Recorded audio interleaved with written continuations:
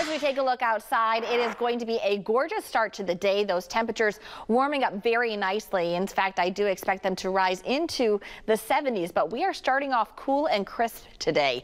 That current temperature in Cassopolis is 53 degrees, Elkhart 54, Goshen 53, a little bit warmer in LaGrange at 56 degrees, but those temperatures will rise. As we take a look at first alert weather radar, we really don't have anything going on. Some of those blips that you see on radar, that is just perhaps some extra moisture in the atmosphere, but nonetheless, we are seeing dry conditions all over area, and that is going to bring those clear skies you can see stretching all the way up towards Minnesota high pressure and that's going to continue to be the case throughout the day today.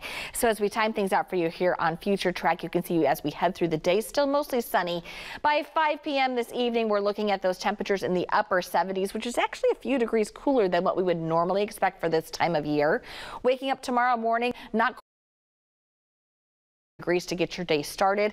A few added clouds late afternoon, still a mostly sunny day for us. We get to those high temperatures right around 80 degrees across Michiana. Then as we head into Sunday, we'll pick up a few added clouds out there. We start our day around 60 degrees once again, and then as we head towards the afternoon, we'll call it partly sunny to mostly cloudy skies for the day on Sunday. Those temperatures should be in those lower 80s. As we take a look for those three days ahead today, nice. Lots of sunshine. Grab the sunglasses, grab the sunblock too if you're going to be out and about, especially if you're heading over to the fairgrounds in Elkhart County. 78 for that high today. Tomorrow we hit 80 degrees for that high temperature with mostly sunny skies. Then as we head into Sunday, we'll see those uh, clouds continue to increase, becoming partly sunny to mostly cloudy with the high temperature of 81. You'll also notice those winds are going to be very light in nature for the next couple of days, but things do change as we head into next week. We'll take a closer look at that coming up in the next 30 seconds. Save this month at Monty's Best One Tire and Auto Care. Now through September 2nd, buy four eligible Firestone tires and get $60 back by mail on a Firestone Visa prepaid card. Get up to $130 when you use your CFNA credit card. Plus, get $20 of instant savings when you buy a set of four eligible Firestone tires. Visit Monty's Best One Tire and Auto Care for complete details. Monty's Best One Tire and Auto Care, now offering mobile tire service. Monty's Best One, selling tires, serving people. As we take a look ahead, we are looking at a mild summer day today, a few degrees cooler than normal for this time of year, still upper 70s, which is nice and comfortable.